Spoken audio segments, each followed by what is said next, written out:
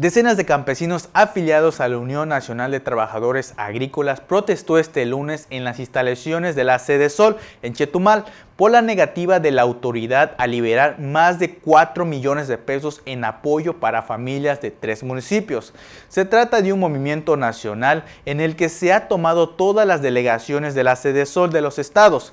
pues no han habilitado la plataforma de registro en el sistema de focalización de desarrollo y de esta forma no llegarán los recursos. Representantes de esta unión explicaron que en Quintana Roo hay 10 grupos compuestos de 50 familias en Bacalar, Felipe Carrillo Puerto, José María Morelos, los que están siendo excluidos de esos recursos para actividades agrícolas y temen que, por ser año electoral, estos recursos sean desviados y no lleguen en donde deberían. EM.